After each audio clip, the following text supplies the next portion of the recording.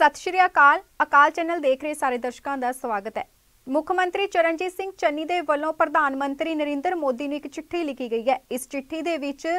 ਮੁੱਖ ਮੰਤਰੀ ਚੰਨੀ ਦੇ ਵੱਲੋਂ ਪ੍ਰਧਾਨ ਮੰਤਰੀ ਨੂੰ ਲਿਖਿਆ ਗਿਆ ਕਿ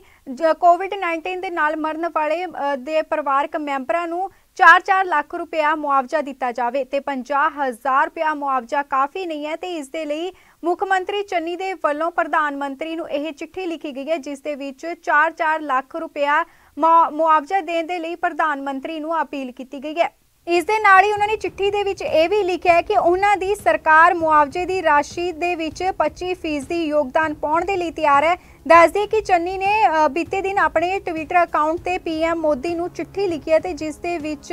ਉਹਨਾਂ ਦੇ ਵੱਲੋਂ ਲਿਖਿਆ ਗਿਆ ਕਿ ਦੇਸ਼ ਦੀ ਸਭ ਤੋਂ ਵੱਡੀ ਗਿਣਤੀ ਕਰੋਨਾ ਵਾਇਰਸ ਦੇ ਨਾਲ ਪ੍ਰਭਾਵਿਤ ਹੋਈ ਹੈ। ਲੋਕਾਂ ਦੀ ਬੇਵਕਤੀ, ਮੌਤ ਕਾਰੋਬਾਰੀ ਖੜੋਤ ਅਤੇ ਲੋਕ ਹਿਜਰਤ ਕਰਨ ਦੇ ਲਈ ਮਜਬੂਰ ਨੇ। ਹਸਪਤਾਲਾਂ ਦੇ ਵਿੱਚ ਇਲਾਜ ਨਾ ਮਿਲਣ ਕਾਰਨ ਲੋਕ ਸੜਕਾਂ ਤੇ ਆ ਰਹੇ ਨੇ ਤੇ ਇਸ ਦੇ ਲਈ ਉਹਨਾਂ ਦੇ ਵੱਲੋਂ ਮੁਆਵਜ਼ਾ ਦਿੱਤਾ ਜਾਵੇ। ਜ਼ਿਕਰਯੋਗ ਹੈ ਕਿ ਦੁਨੀਆ ਭਰ ਦੇ ਵਿੱਚ ਫੈਲੇ ਕਰੋਨਾ ਵਾਇਰਸ ਦੇ ਨਾਲ ਸੂਬੇ ਸੂਬਾ ਭਰ ਵੀ ਜਿਹੜਾ ਪ੍ਰਭਾਵਿਤ ਹੋਇਆ ਤੇ ਇਸ ਦਾ ਪ੍ਰਸਾਰ ਸੂਬੇ ਦੇ ਵਿੱਚ ਵੀ ਲਗਾਤਾਰ ਵਧਿਆ ਤੇ ਜਿਸ ਦੇ ਨਾਲ ਲੱਖਾਂ ਲੋਕ ਆਪਣੀ ਜਾਨ ਗਵਾ ਚੁੱਕੇ ਨੇ ਤੇ ਇਸ ਦੌਰਾਨ ਮ੍ਰਿਤਕ ਕਿਸਾਨਾਂ ਦੇ ਪਰਿਵਾਰਾਂ ਨੂੰ ਮੁਆਵਜ਼ਾ ਦੇਣ ਦੇ ਲਈ ਪੰਜਾਬ ਸਰਕਾਰ ਦੇ ਵੱਲੋਂ ਐਲਾਨ ਕੀਤਾ ਗਿਆ ਕਿ ਉਹ ਉਹਨਾਂ ਦੇ ਪਰਿਵਾਰਾਂ ਦਾ ਸਹਾਰਾ ਬਣੇਗੀ ਤੇ ਉਹਨਾਂ ਨੂੰ 50000 ਰੁਪਏ ਮੁਆਵਜ਼ਾ ਰਾਸ਼ੀ ਦੇਣ ਦਾ ਵੀ ਐਲਾਨ ਕੀਤਾ ਗਿਆ ਸੀ। ਉੱਥੇ ਹੀ ਮੁੱਖ ਮੰਤਰੀ ਚੰਨੀ ਦੇ ਵੱਲੋਂ ਇਸ ਰਾਸ਼ੀ ਨੂੰ ਕਾਫੀ ਨਾ ਦੱਸਦੇ ਹੋਏ ਪ੍ਰਧਾਨ ਮੰਤਰੀ ਨੂੰ ਚਿੱਠੀ ਲਿਖੀ ਗਈ ਹੈ। ਇਸ ਚਿੱਠੀ ਦੇ ਵਿੱਚ ਮੁੱਖ ਮੰਤਰੀ ਚੰਨੀ ਦੇ ਵੱਲੋਂ ਹਰ ਮ੍ਰਿਤਕ ਦੇ ਪਰਿਵਾਰ ਨੂੰ 4-4 ਲੱਖ ਰੁਪਏ ਮੁਆਵਜ਼ਾ ਦੇਣ ਦੀ ਅਪੀਲ ਕੀਤੀ ਗਈ ਹੈ। ਪ੍ਰਧਾਨ ਮੰਤਰੀ ਨੂੰ ਲਿਖੀ ਇਸ ਚਿੱਠੀ ਦੇ ਵਿੱਚ ਮੁੱਖ ਮੰਤਰੀ ਚਰਨਜੀਤ ਸਿੰਘ ਚੰਨੀ ਦੇ ਵੱਲੋਂ ਕਿਹਾ ਗਿਆ ਕਿ ਜੇਕਰ ਪ੍ਰਧਾਨ ਮੰਤਰੀ ਇਹ ਰਾਸ਼ੀ ਦੇਣ ਦਾ ਐਲਾਨ ਕਰਦੇ ਨੇ ਤਾਂ ਪੰਜਾਬ ਸਰਕਾਰ ਇਸ ਰਾਸ਼ੀ ਦੇ ਵਿੱਚ